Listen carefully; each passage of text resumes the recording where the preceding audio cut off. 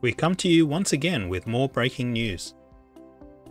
As posted on her blog at 8pm JST today, titled Keshin or Determination, third generation ace and two time center Yamashita Mizuki has announced her graduation from Nogizaka 46.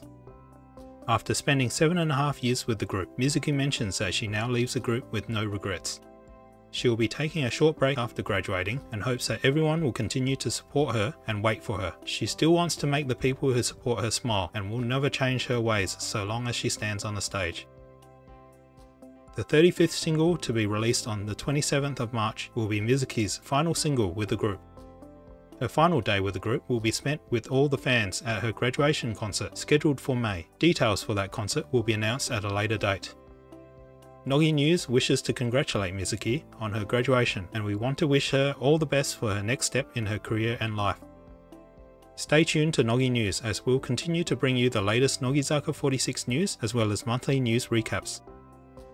As usual, if you've enjoyed this video or have found it informative or interesting, please feel free to press the like button and leave your messages of support for Mizuki in the comments section down below. If you'd like to be notified of when the next Nogi news is uploaded, please press the subscribe button and the bell icon to stay up to date. With that, my name is Halcyon, and I'll see you again next time on Nogi News.